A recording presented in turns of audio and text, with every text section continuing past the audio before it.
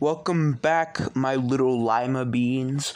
Today we got six votes. That is a a lot of votes. Like like that is so many votes.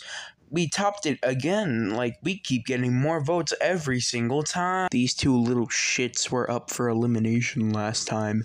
So um we're gonna see who's going to not be a finalist. Hooray. Wait, wait, before before any of them are eliminated, I just want to say some stuff. So Mountain Dew, you've been a great friend. You've you've helped me a lot during challenges. You've you've made me feel like a better person throughout this entire game and I want to thank you for that.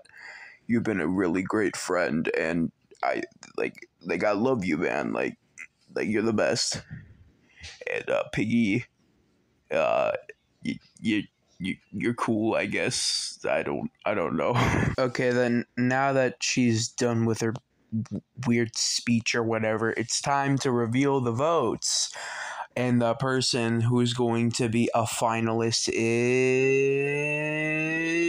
Piggy with one vote. Mountain Dew is eliminated with with five, with five votes. with the final challenge is to do all of the just kidding.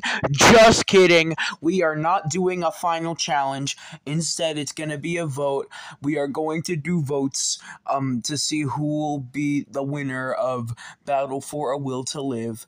Um we are not doing a final challenge. Like i just said we it is a vote you guys are voting on who will win we are not doing a final challenge yeah um, last last challenge was the final challenge.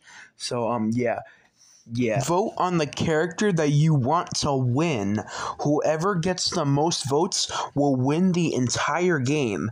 So like do not this isn't like the other eliminations. Do not vote for for the person who you, who you want to be eliminated.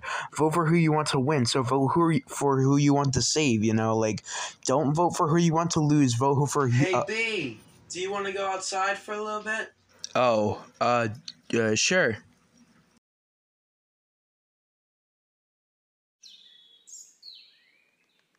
Hey B, are you alright? Come on, girl, just tell them already.